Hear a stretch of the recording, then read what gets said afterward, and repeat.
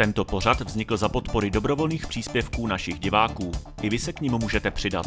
Více informací najdete na podpora.etiq.cz. Za jakoukoliv vaši pomoc děkujeme.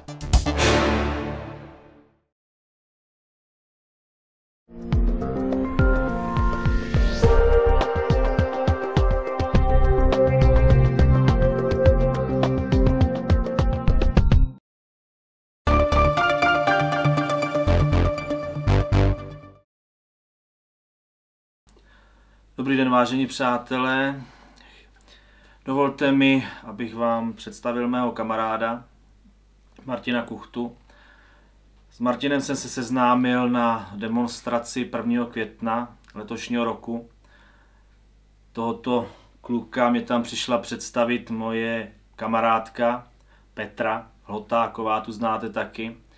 A teď už asi tušíte, z jakého prostředí tenhle ten showman tak z nějak bych to řekl. Dejme tomu policejního prostředí. Tak, že jo? tak, tak. Takže berte to tak, že Petraš je do policejního prostředí a do těch nepravostí a tady Martin dělá Nimrich to stejný, protože Martin sloužil u policie České republiky 8 let. 8 let, no. 8 roků a na té demonstraci řekl velice, velice za- zajímavé věci a my jsme se domluvili, že se po čase slezeme a že budeme pokračovat v určitých takovým informačních blocích k vám, k občanům, protože ty věci, které se dějí v policii České republiky, v justici, v podnikatelské sféře jak je to všechno provázané s politikou, jsou přímo neuvěřitelné.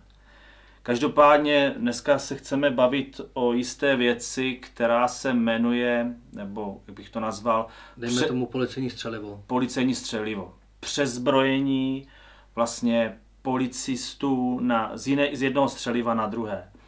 A to, jak jsem na tohle to narazil, no Martin už natočil jisté video a já jsem mu řekl, že bych mu hrozně rád pomohl jako s propagováním tady těchhle z těch věcí.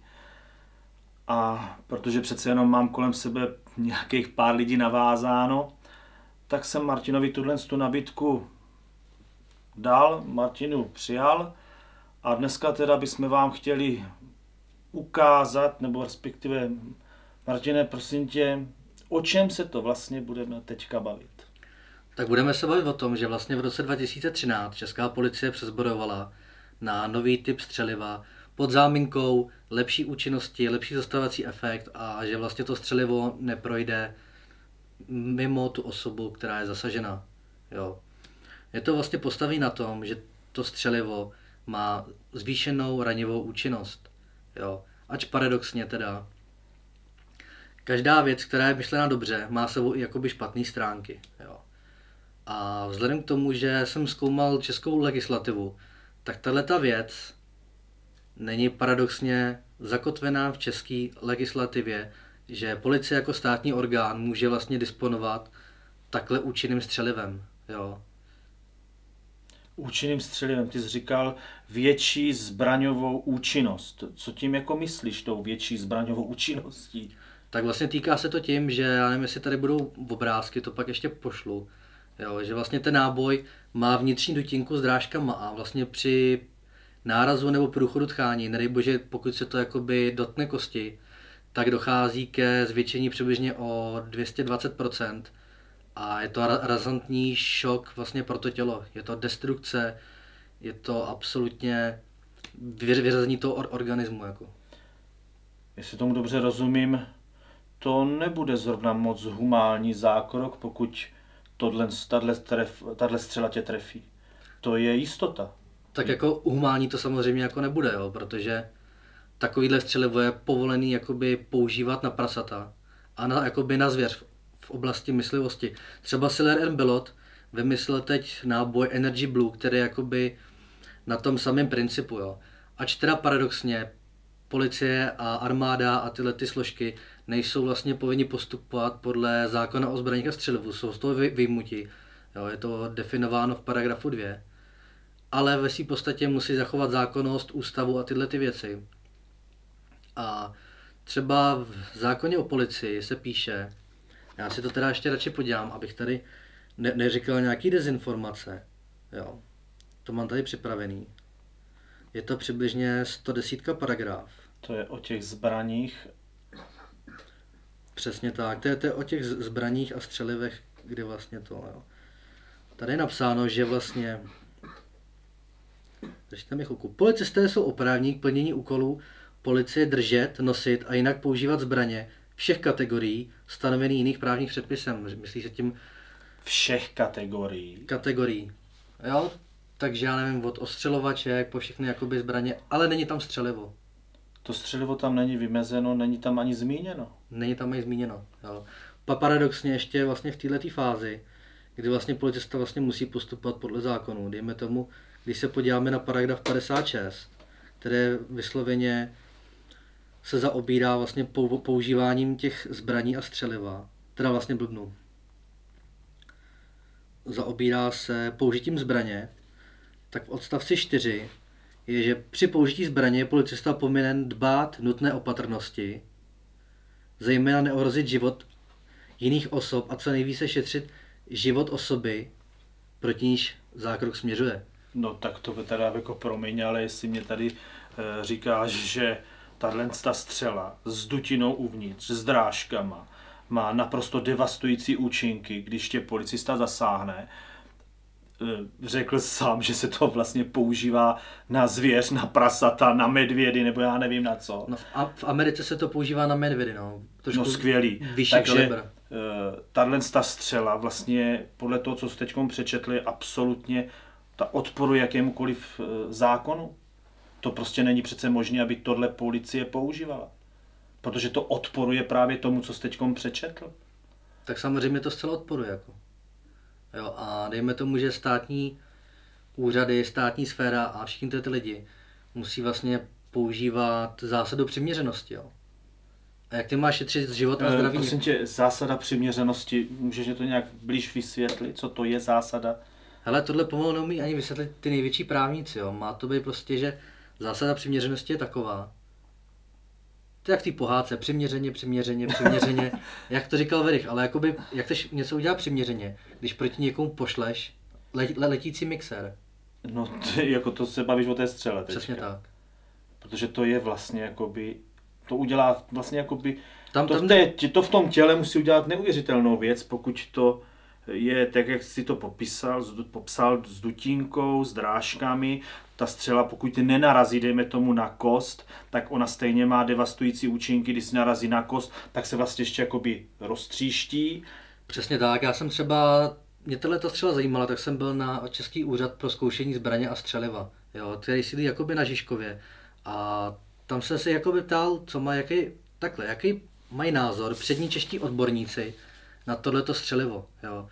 Je to třeba na mém YouTube profilu Martin McDermott, Policegate 6, a na konci je tam vlastně celý ten nesestříhaný záznam z jednání s Českým úřadem pro zbraně a střeliva, kde byli jako sami odborníci překvapení, co česká policie jako používá. Jo. No, takže v tuhle chvilku to, co jsi řekl, jak jsi to nazval, že je policista povinen Co nejvíce šetřit život osoby, proti níž zákrok směřuje. Tak, za prvé, je, když si představíme nějaký zákrok, já nevím, kdy ten policista je třeba ohrožen nebo je ohroženo okolí, eh, zkoumání zrovna toho daného prostředí, těch vlivů kolem, eh, no to je napsáno tak, jako asi když je takový ten nafukovací zákon, že jste způsobil nehodu a vy jste nepřizpůsobil jízdu stavu a povrchu vozovky. A to je přesně technickému na stavu vozidla. tak, to je přesně takhle nafukovací, takže do toho se dá schovat naprosto všechno. A víceméně mně přijde, že to je že to není ani výhodou pro toho policisty, ale naopak, protože vedení, vlastně vedení policie, pokud ten člověk, policista provede nějaký ten zákrok, Tak se, tak se to obrátí proti němu. Přesně tak, obrátí se to proti němu, protože on nemá jakoby, mm, dejme tomu nějaký zastání jak v legislativě, tak v nadřízených, protože ty se budou chránit svůj zadek, jo. Paradoxně ještě zákon o služebním poměru stanoví, že policista je povinen odmítnout splnění rozkazu, pokud by tím spáchal trestný čin, jo. No ale nezlob se na mě, pokud policie bude používat toto střelivo, tak se dopouští pro boha trestného činu, protože tohle není legislativně ošetřeno. Je to nezákonné podle toho, co mě teď, co, co, jenom to, co jsi mě přečetl. Tak já to z toho chápu tak, že ta střela vlastně způsobí to, že vás vlastně zlikviduje. Jestli vám to zasáhne břišní prostor, tak, tak jste na sračku. Jestli to zasáhne, já nevím... Dejme tomu ruku, trefilo by to na kost, tak podle odborníků z Českého úřadu pro zbraně a střelova to dokáže i utrhnout. Takže vás to prostě zmasakruje, udělá z vás invalidu na věky věku. Amen. Takže jak může někdo tohle pro Boha odsouhlasit? To je otázka. Nebo, no počkej, to ale muselo projít nějakým legislativním řízením, že to policie používá. Tak podle mě to schvalovalo někde na ministerstvu vnitra. To zkouší, jakoby, co to udělá. Protože už se Že tím... to zkouší, co to udělá? Takže oni teprve čekají na to, až teda jako první policista vystřelí a někoho zasáhne? Dá se říct, že jo. to, já teda nevím, co na tohle to říct.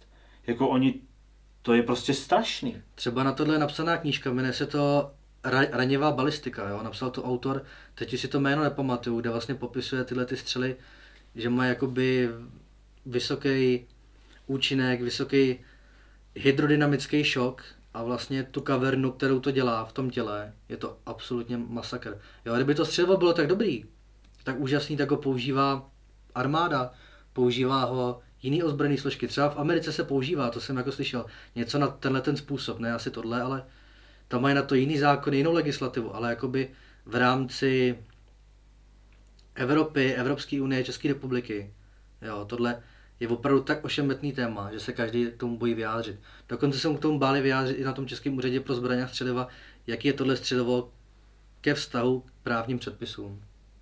To, to, to prostě nemůže, to odporuje jakýmkoliv právním předpisům. Protože to, co říkám, to, co jsi mě přečetl, tady tyhle dva články u policie, tak tohle střelivo nemá udělat nic jiného, než toho člověka na místě zabít, a když ho nezabije, tak ho zmrzačí na věky věku. Amen. Nemá šanci. Nemá šanci se z toho jakýmkoliv způsobem dostat, uzdravit se. Prostě, ne, prostě nedostane možnost toho, aby takový zákrok přežil bez následků. Dalo by se říct, že jo. Tohle je prostě velký hydrodynamický šok. Já si do, jako a rozumím... ty no. odborníci no. mi řekli, že vlastně to má vnitřní dutinu, která je víc vypoukla a při nárazu na kost nebo nějakou jinou tvrdou část těle se z toho můžou odlamovat i ty úštěpky, které se takhle jako otočí. to znamená, že oni pokračují dál v těle a poranění, další zranění. Jasně.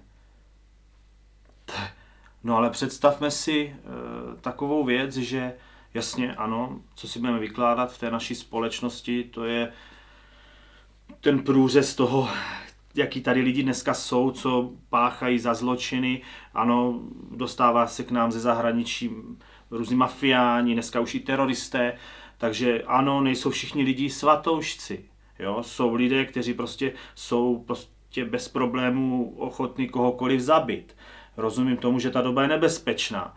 Ale, tak každá doba je nebezpečná. Jasně, ale představme si, představme si takovou věc, že eh, já nevím, manželovi zavolá manželka do práce, že ho čekají dítě, eh, nastanou nějaké komplikace, musí nějaká sanitka na cestě, ale on samozřejmě bude nervózní, bude mít oba, velký strach o svou ženu, takže nasedne do auta a pojede nepřiměřenou rychlostí. Jo? Bude přejíždět z pruhu do pruhu, aby byl co možná nejdřív u té své ženy teď natrefí na policii, na hlídku policie České republiky, eh, bude vystresovaný, takže třeba nemusí zaregistrovat vokínko eh, stop v červenou značkou, nemusí zaregistrovat vůbec tu policejní hlídku, nemusí zaregistrovat třeba ani, že já nevím, ho vyzvou nějakým megafonem, že ujíždí prostě, budou ho chtít zastavit, on nezastaví, protože pospíchá domů, oni nabídou teda jako nějakého přesvědčení, že je to nebezpečný zločinec, nebo a tohle to použijí? Tam je to otázka, tam by se musela jako by jednat v krajní nouzi, to by tu manželku, která rodí, nebo měl mít u sebe, ale on jako by osoba jako taková nemůže porušovat právní předpisy, že se někde něco děje. Ale může se to přece stát, že člověk... Stát, stát se může jakoby různý věci, teda třeba v tomhle tom je problém s nezúčastněnýma osobama. Jo. Spousta policistů neumí střílet tak, jak si myslí, nebo jak si představují. A on toho člověka netrefí a třeba to zanese někam jinam nebo udělá dvoj výstřel. jedna se ujme a jedna letí úplně někam jinam. Jo? A o, o to třeba jde. No každopádně to, co tady vidím, to, co jsem tady četl, to je něco neskutečného. Já vůbec nechápu, jak si toto někdo může dovolit. Jak tohle někdo může opravdu dát policistům, aby s tímhle s tím se případně Tam, tam šlo o ten vyšší zastavovací strašný. efekt třeba při prostřelu pneumatik, anebo zastavovací účinek proti ožralým lidem, pod drogama a takhle. Ale na to jsou daleko jiný účinnější metody, jo? třeba brokový náboje s gumovými náb- nábojema, pak je tam třeba taser, jo? anebo prostě, anebo takzvaně poloplášťová střela s ob- obnaženou špičkou, jo? která nemá tu du- dutinu, mají tak obnaženou splacatělou a udělá to podobný efekt jako tohle bez takovýchhle následků. No každopádně určitě si myslím, že jsou střely a střelivo, které dokážou toho, Takhle, pro civilní nošení No. a obranu je tohle úplně zakázaný.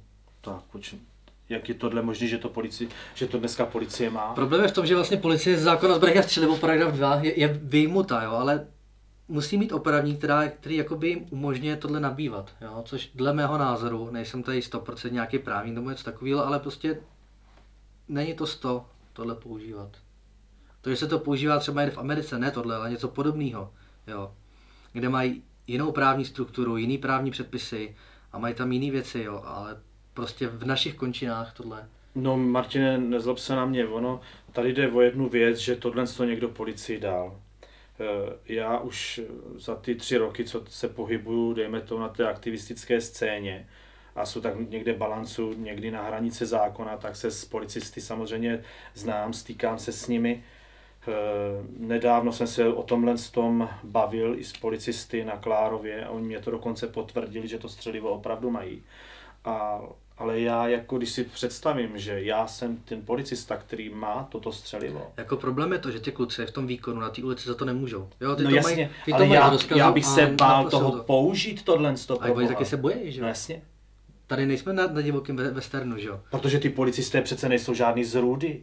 Pokud oni ví, teď jde o to, jestli vědí, že to má takovéto devastující účinky. Tak má to na tom náboji není napsané, řekne si člověk jenom náboj s, du- s dutinkou, co to udělá, ale kdyby člověk viděl, co to dělá v tom balistickém gelu, jakou to dělá kavernu, jaký to dělá devastace, deformace, tak to je něco neskutečného proti normální střele.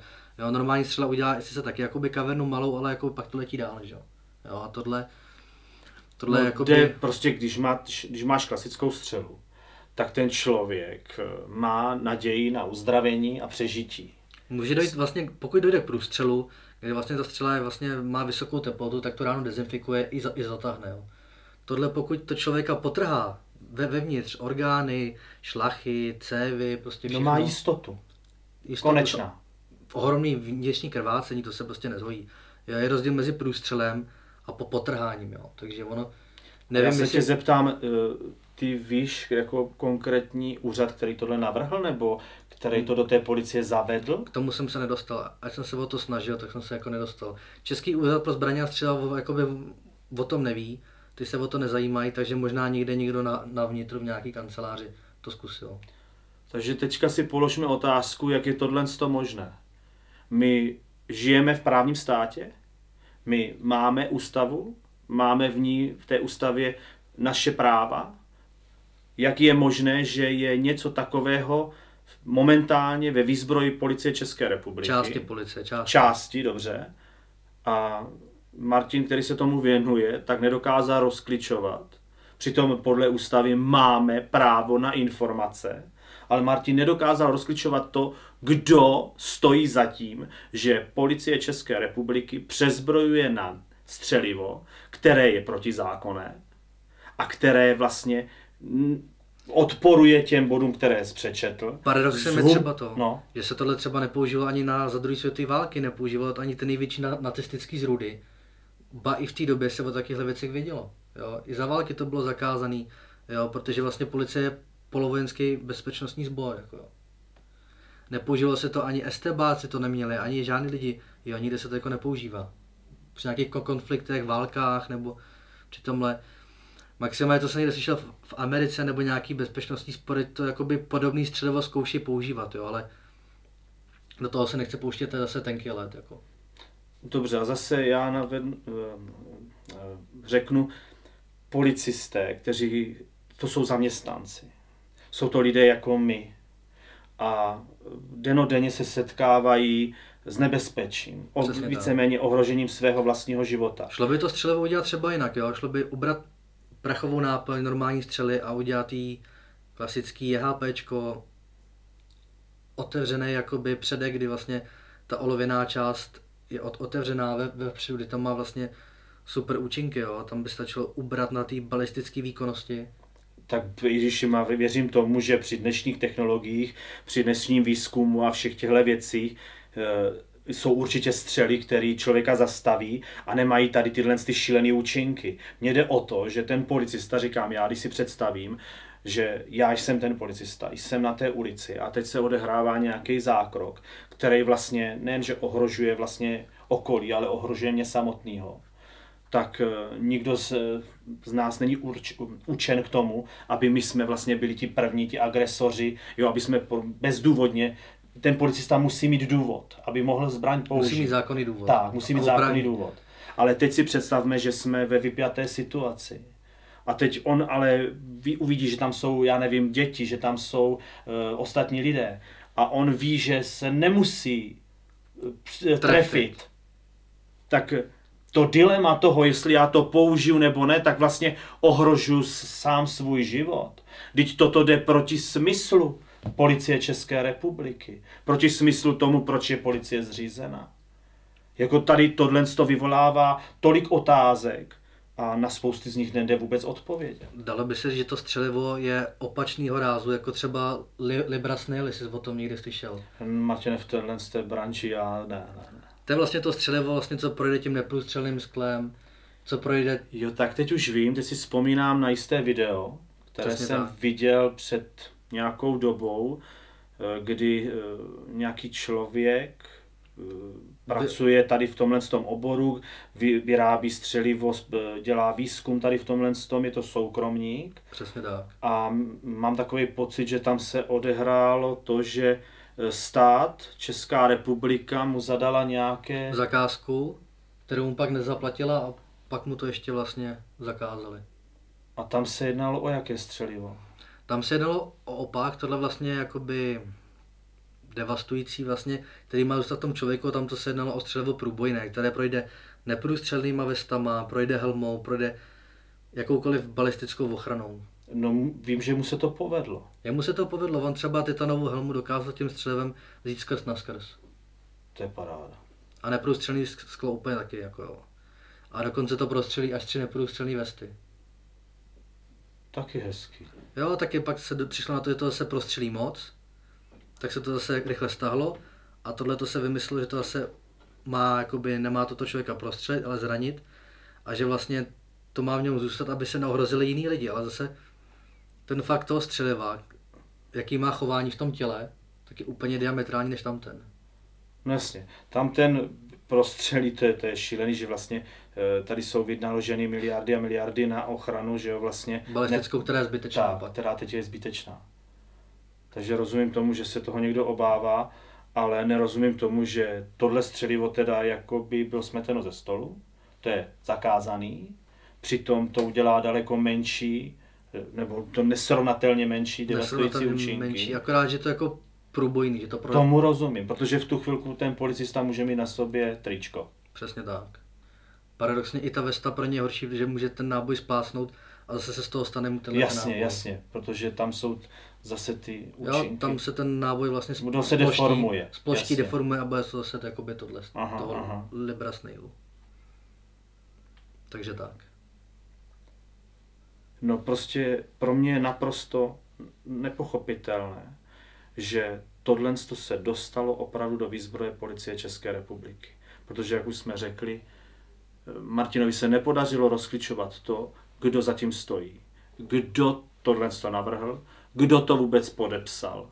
Jak je tohle možné, že tuhle informaci ne, není, není možné zjistit, když žijeme tedy podle našich politiků v právním státě, kde je tedy ta ústava a máme svoje práva a podle toho práva, který je v základní listině práv a lidských svobod, je že máme právo na informace. Eh, těžko tohle považovat za utajenou informaci. Pro Boha. Tohle není utajovaná informace, jakož je to běžně ve veřejný výzbroji. Tak. Takže to ne, To- podle mě to nepodléhá žádný Žádnému takový... stupni utajení. Tak, tak. No, Takže tuhle informaci bychom se měli dozvědět. Kdo zatím stojí, kdo je takovej, já nechci být vulgární, kdo je takový dacan, který tohle to píďo jedním podpisem schválí, aby to bylo ve výzbroji policie České republiky. A Problém je v tom, že tohle střelo by bylo legální, kdyby k tomu byla právní legislativa, bylo by k tomu opora pro ty lidi, kteří to použijou. Ale zase ta v tom být nemůže, protože třeba nejvyšší soud nebo ústavní soud, když dojde k nějaký, nějakému maleru, tak tohle smete. Martine, přece berme to tak, že se můžou, jsou různé typy zločinů, jsou různí zločinci, jsou různé delikty, eh, a při kterých se může použít zbraň. Ale, Ani ty zločinci tohle nepoužívají. n- ale dobře, ale prostě není možný eh, tohle použít prostě v jakémkoliv případu. Jo, kdyby já, to se nedá, to se nedá prostě omluvit Obhájit. obhájit. Dovedu si představit, já nevím, že by to měl, já nevím, vznikne situace, kde je třeba přepadení banky, jo? kde jsou ohrožení, jsou rukojmí, jsou ohrožení na životech. Dokážu si představit, že by byla nějaká eh, Teroristická skupina. ta, která- která by tímhle s tím, dejme tomu, Ale ty máš zase balistickou ochranu, takže ne, neprostřelíš. Takže Tak. čemu ti to je? To takže, takže tak. Ale prostě furt si dovedu představit, že Musel by by to byl nějaký náboj, který by, měl, který by měl větší účinky než ten klasický, co by byl používaný. Ale tohle je zrůdnost. Tohle je naprostá zrůdnost. Jo? A je to přesně, jak jsi řekl.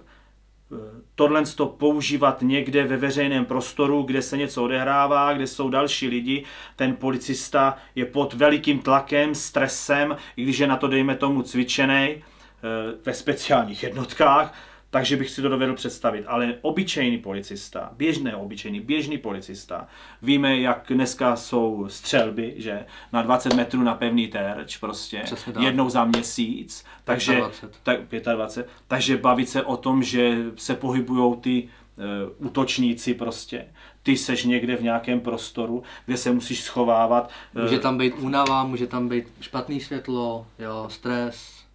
Prostě nepochopím, opravdu nepochopím, jak je možný, že tohle někdo dal do, poli, do výzbroje policie České republiky. A já se opravdu ptám, opravdu se ptám, kdo zatím stojí. A já chci znát to jeho jméno. Protože tohle není možné. Tak já ti poradím, zkus napsat podle zákona o svobodném přístupu k informacím na ministerstvo vnitra, kdo tohle.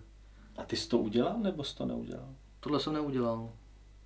Takže tady ještě dejme tomu re- nějaká možnost. možnost. To jsem nechal až na, na tu poslední chvíli, ale stejně oni můžou říct, že to je utajený, že prostě to je v nějaký fázi prostě těchto těch vě- věcí. No ale tohle uděláme. Tohle uděláme. To každopádně. Tak se můžeme zeptat. Tak, tak. Protože tohle je, to je Ty jako občan máš právo podle zákona o svobodném přístupu k informacím žádat různé informace. Otázkou je, do jakého stupně ti to oni poskytnou, jestli to je nějaký vy- vyhrazený nebo prostě v nějakém To tom. nemůže být. No nemůže no. Teoreticky nemůže. Ale víme, Teori- víme, ano, jak víme, jak funguje. lidi umí vyhybat paragrafy. Ano, ano. Co dokážou naši právníci a tak dále, kteří pracují pro tu druhou stranu. Takže tak. Tak jo. Takže přátelé, na závěr, tahle věcička, to je věc, která rozhodně nemá být ve výzbroji policie České republiky. Tahle věcička je něco, co člověka ne, ne zraní, zastaví, ale zabije a zmrzačí. Martine, eh, já ti moc krát děkuju, že jsi přišel na tohle natáčení a počítejte s tím, že bude pokračování. Přátelé, já se s vámi loučím, Uvidí- ještě jednou děkuju Já taky uvidím, jak to dopadne. a u příštího pořadu nashledanou. Takže čau. A kdybyste chtěli, sledujte můj facebookový profil anebo YouTube kanál Martin McDermott. Píše se to Martin NC Dermott. Takže jo, takže třeba někdy příště. Čau. Nashledanou.